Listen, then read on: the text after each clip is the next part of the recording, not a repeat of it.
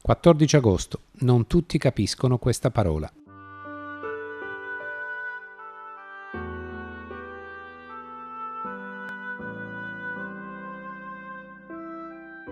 Gesù è venuto sulla nostra terra per riscattare l'uomo dalla sua pigrizia spirituale. E questo è il più grande veleno che il peccato inietta nel nostro spirito e nella nostra anima, la bulia, la pigrizia, l'accidia. Ci priva di ogni forza nella perseveranza si prende un impegno e poi non lo si mantiene. Ci si lega con un vincolo santo, perpetuo, per tutta la vita e poi si scioglie. Anche il patto di natura che avviene con il sacramento del battesimo, della cresima, del presbiterato spesso è rotto. Oggi poi è uno scempio spirituale universale. È come se la fedeltà non esistesse più, non solo a livello religioso, ma anche nel campo sociale, professionale, politico, industriale, economico, internazionale. La parola dell'uomo ha perso ogni valore, eppure essa è sacra, come è sacra quella di Dio. È sul fondamento della parola data che Dio opera. Nessuno può ricevere il sacramento del battesimo, della cresima, del presbiterato, senza dare al Signore la parola di essere suo per sempre, secondo ciò che il sacramento significa e opera nel cuore, una volta che è stato celebrato. Gesù ci riscatta con la sua grazia, ma anche la grazia necessita della parola dell'uomo. Essa va chiesta come vera forza per perseverare sino alla fine, crescendo ogni giorno di più nella fedeltà. La grazia diviene inefficace se la si riceve senza questo impegno preso dinanzi a Dio. L'Eucaristia è nulla, anche se in essa e per essa è lo stesso Dio che si riceve come grazia increata. Se ci si accosta ad essa senza alcun impegno a lasciarci interamente trasformare dalla potenza della sua efficacia rigeneratrice, risanatrice, guaritrice.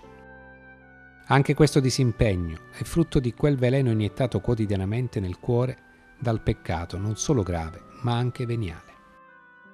Pietro dice a Gesù che amare una donna per tutta una vita è un impegno talmente forte e coinvolgente che è preferibile non sposarsi. Gesù rafforza il pensiero di Pietro. Sono pochi quelli che comprendono queste parole, ma solo coloro ai quali è stato concesso. Consacrarsi al celibato permanente non è una scelta di natura, ma è pura grazia del Signore. Al matrimonio si può andare anche per scelta personale, naturale, libera. Il celibato, per il regno, è purissima grazia del Signore.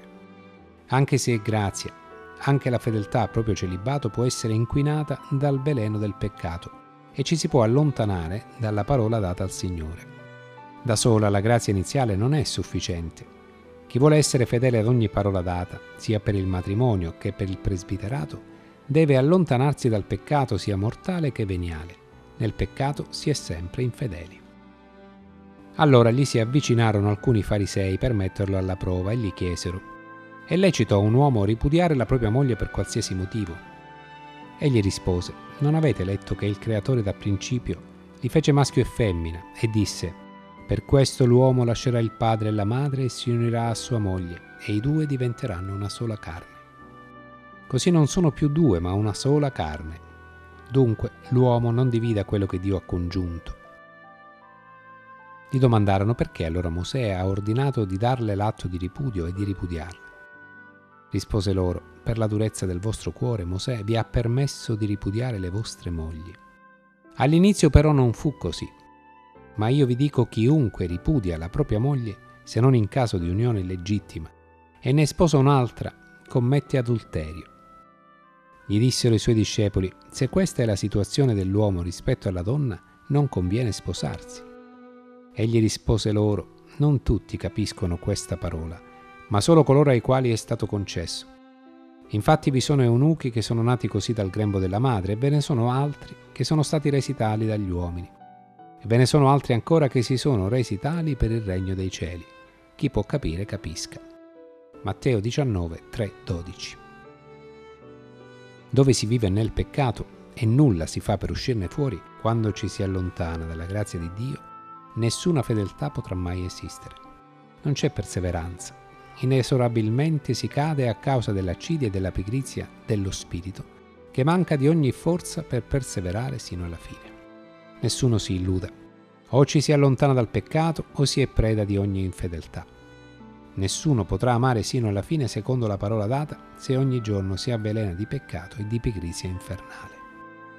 Vergine Maria, Madre della Redenzione, angeli santi, liberateci da ogni peccato.